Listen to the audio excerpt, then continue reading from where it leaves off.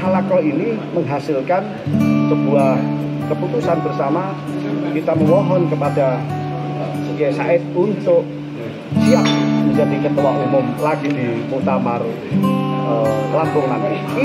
Diharapkan dengan mendukung dan majunya Kiai Said Agil Sirot sebagai calon Ketua Umum NU masa khidmat 2021-2026 yang akan diselenggarakan di Lampung pada 23 hingga 25 Desember 2021 mendatang, Kiai Said Agil Sirot dapat meneruskan dan menyempurnakan ikhtiar untuk memperkuat jamaah dan jamiah NU.